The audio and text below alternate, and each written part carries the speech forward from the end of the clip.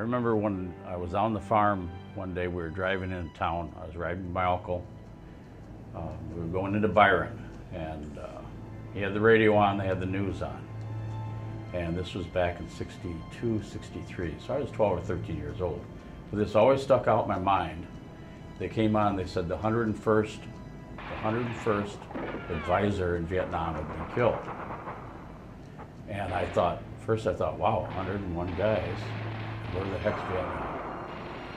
Now mind you, you know, Vietnam, some far off land, I never even imagined what would come of that.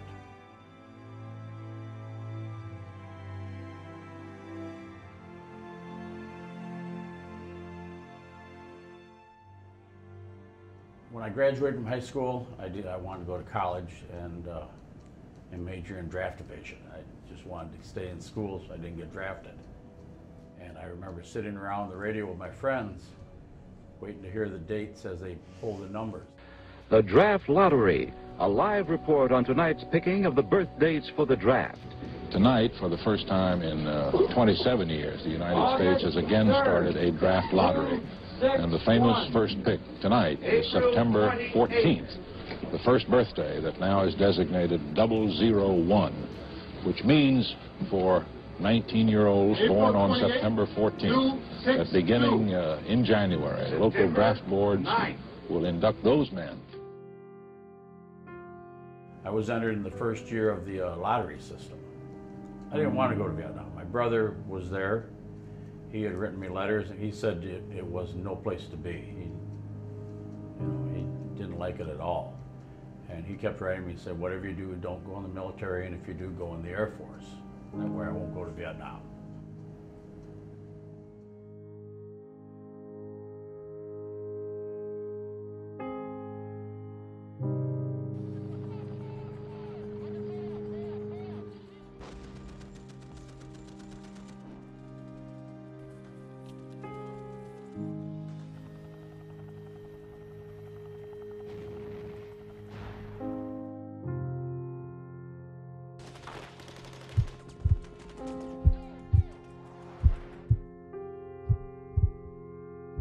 Second night I was there, I almost overdosed on heroin. The friend I was with, uh, if I what you want to call me, we came over together. We trained together. Uh, he was from L.A. and he said, "Oh, he says, he says, you just snort a little bit of this, you know." Now, mind you, I I drank, and uh, I I mean I knew what heroin was, but you know I you're 21 years old, you're in Vietnam, you're in a war, you know. There isn't a lot to do other than drink.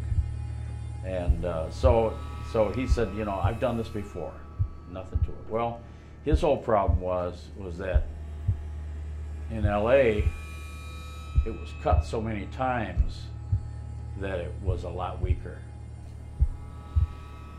This was not cut, and I just remember it was the worst thing I'd ever gone through.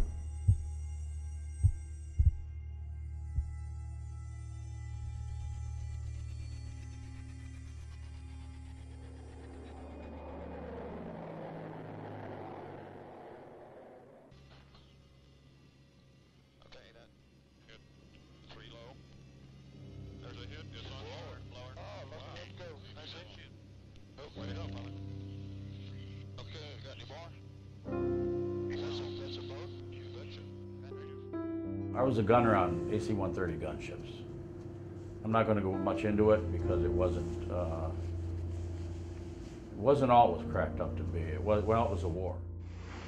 And so tonight, to you, the great silent majority of my fellow Americans, I ask for your support. I pledged in my campaign for the presidency to end the war in a way that we could win the peace. I have initiated a plan of action which will enable me to keep that pledge. The more support I can have from the American people, the sooner that pledge can be redeemed. For the more divided we are at home, the less likely the enemy is to negotiate at Paris. Let us be united for peace. Let us also be united against defeat. Because let us understand North Vietnam cannot defeat or humiliate the United States. Only Americans can do that. When I went over there, I thought, well, you know, I'm going to give it my best shot and see what we can do. Uh, but you quickly find out that they had no desire to win it. It was just, it was all Vietnamization. I mean, it was all going to be, we're going to, it's a fancy way of turning it, you know, backing out slowly. Just like a lot like what they did in Iraq. I mean, uh, and Iraq went the same way as Vietnam as far as it didn't take long for it to collapse. You can go over there, you can win the territory, but you can't win the hearts and minds of people. And you know, I mean, if they don't, they don't want to. They don't want it. I changed jobs. I I, I stopped flying because we weren't. Uh, see, what happened is they had pulled all the uh, army out, but Vietnam was going to make their. They were going to show they could do this. They could. They could take the fight to the enemy. They uh, invaded a little bit of North Vietnam and into Laos and Cambodia up by Quang Tri province, which is northern Vietnam. I don't know how many divisions and moved in there.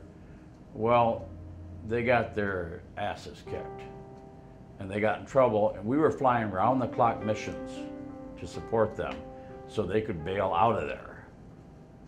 And, uh, and we lost people that we should never have lost because they, they didn't know what they were doing, you know, and, and so I, I didn't want to, I didn't want to fly anymore.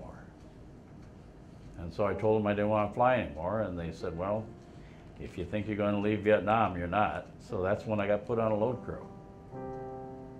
When you're on a load crew, there's four guys. You each have a have a job, and you do that for 12 hours. Or you know, granted, you don't you don't you're not doing it constantly. But I mean, you'll load two aircraft, and then you may wait for a half hour, hour or so before you load more unless you worked the nights. If you worked nights, there was one load crew, and they would load roughly 30 aircraft during the night for the next day's missions. The day shift, there were two crews that worked loading, and they would load the aircraft when they came back. Uh, so the other part of your job was um, if you weren't on load crew, they took your load crew and they split you in two and you would work what they call arm and de-arm. See, when you load a bomb, it's loaded on a rack, and you have to put a pin in there just so it's not dropped accidentally. And you, you pin the gun so it doesn't fire accidentally on the ground. Everything, all these have to, and they have red streamers hanging off them. And the red streamers say remove before flight. So once you get the aircraft all loaded up, it has all these streamers on it and when they go out on a mission, they go down to one end of the runway to take off. Well, down there there's a pad where there's a little little building and it's like a little bunker actually because the end of the runway is the end of the base other than the concertina wire, the minefields, more concertina wire, more minefields, and that goes out probably four or 500 yards. When you worked arm area, you would go down there, two guys, and you'd sit down there for 12 hour shifts. And you marshal them up, you'd stop them, and then you would go around and you pull the pins on all the aircraft. Then you'd, you'd show the pilot the pins, and you go the next aircraft and do it. Well, you're sitting at the end of the runway, and whether the base was that as big as it was, or a small one, they had snipers. During the daytime, they weren't too prominent. But at night they would be because you, you were sitting out there at night, 12 hour shifts at night, and you had orange wands so the, the pilots could see you. And you would marshal them in with the wands. Well, the snipers would see the wands and figure where you're at. And for the, I don't know, they weren't very accurate, but it would scare the daylights out of you when they fired at you. So one guy would go out and do that, and mind you, you're standing exposed.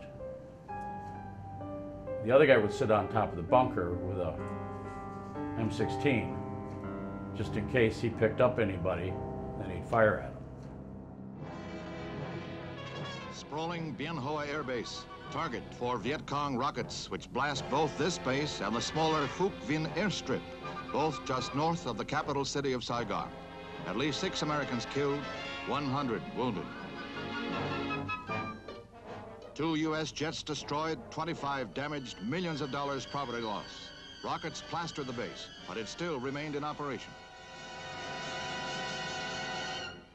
The bloodiest, most bitter battle of the war so far.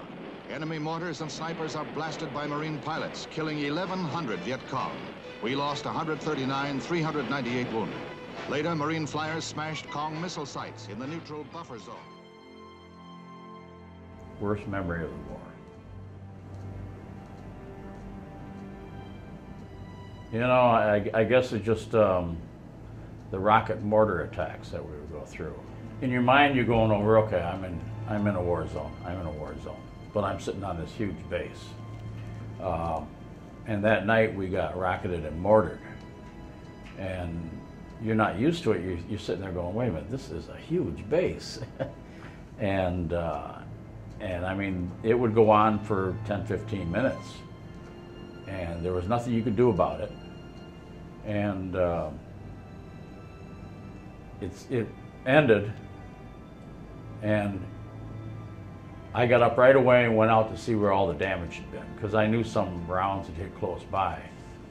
And it's the worst thing you could do because we learned later on, and they didn't do it that night, but what they would do is they would purposely lob in 20, 30 rounds. Then they'd wait 10, 15 minutes. Then they'd lob in two or 300 more because people would go out to see what was hit. I mean, they knew Americans were curious, especially the new ones over there. And I would say that was my worst. To be under a rocket and mortar attack, you have no, I mean, you can't get small enough.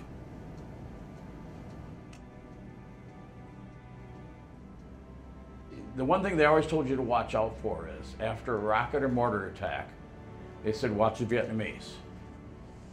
Because they said if you find one that is standing over by a hole and paces off to a building, that's probably VC, and you got to turn them in. Because they were deadly accurate with, I mean, it was amazing. They'd fire, they'd hit, like, say, say they would, would shoot and they'd miss a building.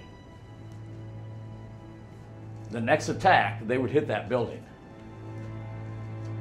I mean, and and these are rockets and mortars. I mean, mortars are the scary ones. Rockets, they're you know they're they were 122 millimeter rockets. They were like eight feet long, the the whole rocket, uh, and they could shoot them 20 miles away. Mortars were closer, uh, but mortars were scarier because they'd walk them right up the base on you. They'd be like maybe they'd have three three of them set up somewhere, and they'd start down by the flight line, and and you'd hear them hitting the base, and they'd be walking right up toward the toward you. And I mean that is a scary thing because you can't, like I said, you can't get small enough. And they used to have bunkers that you go outside the barracks and go to. They lost more people running to the bunkers than they would if they just stayed put. So you would just lay on the ground and stay put. Uh, and it was scary on a flight line when you were working on a flight line. These are covered revetments. Now, the revetments are they're big arches. The aircraft sits inside it. It's got approximately two feet of concrete on top of steel. And it took that and it, it blew the, the concrete right up. I mean, it, it obliterated that jet. When they would rocket mortar you, it, uh, you talk about a helpless feeling because there's nothing you can do to sit. Ran into the Vietnamese and, and we were we'd been drinking quite a bit that night, and, and we said, "Hey, can you get us a couple girls?" He said, "Yeah, sure, I can get you girls." He said, "You know, you want number one girls, I'll get them for you." So we said, "Okay." And he said, "Well," he says, "I'm going to need some money up front." Uh, and we said, okay, you know, how much you need? Well, I need, uh, you know, these girls, they're, they're good girls. You know, we're probably going to need about five bucks a piece. You know, well, you got to remember, you know, 71, you know, five dollars was a lot of money, you know, then. So, and he says, and, and he says, and I'm also going to need, he says, I got to get them on base, so I'm going to need a couple of raincoats. So we, we had our blue raincoats, you know, that we we wore. and We had the camouflage ones. Well, we said, which ones you, you know? I better. He says, you guys don't ever wear the blue ones. I'll, I'll wear the, the camouflage ones I need to get them on base. They'll look like GIs. So we said, okay, you know. So we gave him the ten dollars. This guy and I, we gave him ten dollars. We gave him two raincoats. Never saw him again.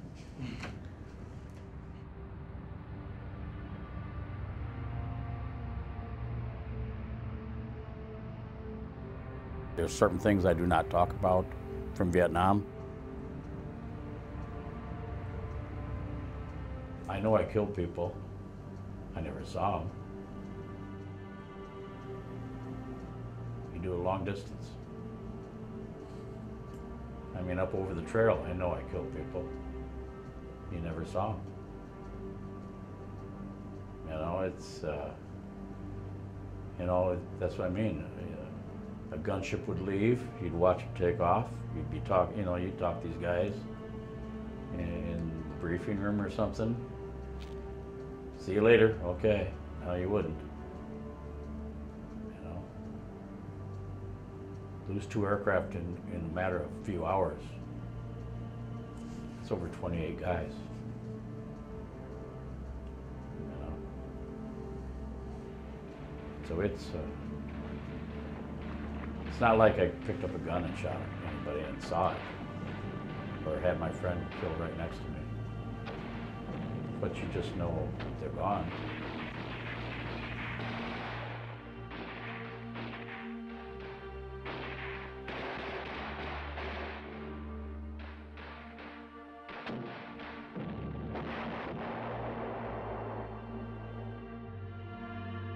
It was uh, kind of surreal because uh, I'd been there 15 months. Most tours were only 12. I went down to the uh, day before I went down from Hoa, rode a, a, two and a half, deuce and a half they call it, down to uh, Tan Son Nhut Air Base. I uh, out-processed, ran into some friends that I knew from Hoa. Um, they had been stationed down there. I stayed the night with them in their barracks. And then the next morning I processed at the terminal and uh, got on the Freedom Bird. You land at uh, Travis Air Force Base and you take a bus and you go up to, uh, to LA, Los Angeles Airport, and um, you're in uniform and you're not popular. And I mean, it was, uh, it was not like you get any, you know, it, and that's what I, you know, you carried that for so many years. You know, it wasn't, and, and I, actually, this is the truth. It wasn't until the Iraq War that I think that America started to appreciate, you know, the servicemen, you know, or 9/11, uh, because uh, I mean, we were actually, I mean, you're in an airport and people are hollering at you, calling you names, and and I mean, you talk about an impression upon you. You spent 15 months doing what you thought your country wanted you to do. And the Stars and Stripes doesn't cover any bit to tell you about how much protesting there is that you're going to see in LAX when you land. And when you land, you're in for a shock because you sit there and you go, this is not the country I left. You know? and, and you sit there and you go, what, what did I do all this for? I went over there, I spent 15 months of my life, and, uh, and I come back and these people, you know, they didn't spit on me, but they called me names.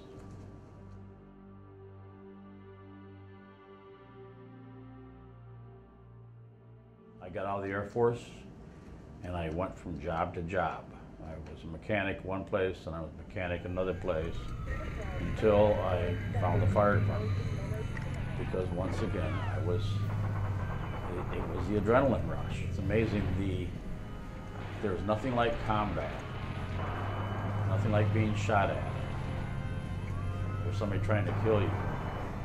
That all your senses, I mean, you're scared, but you gotta think. And I found my life at that time, I love the adrenaline rush. And combat is much like going into a burning building. You're putting your life on the line, it's you against, you're opposing something that's evil.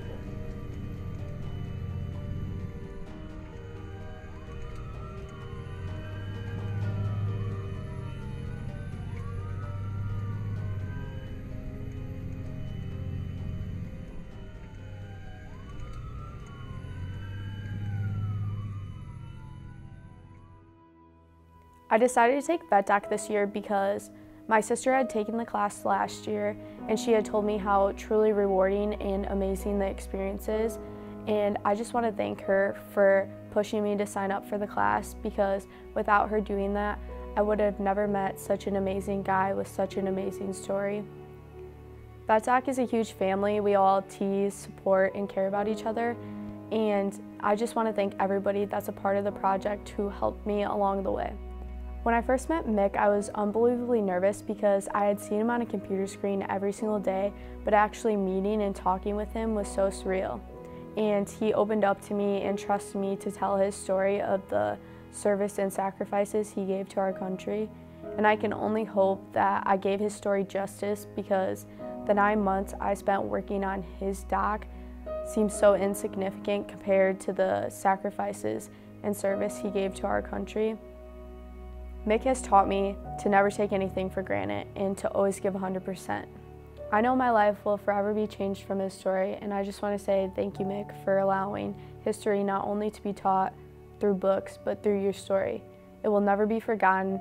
Thank you for making me a better person.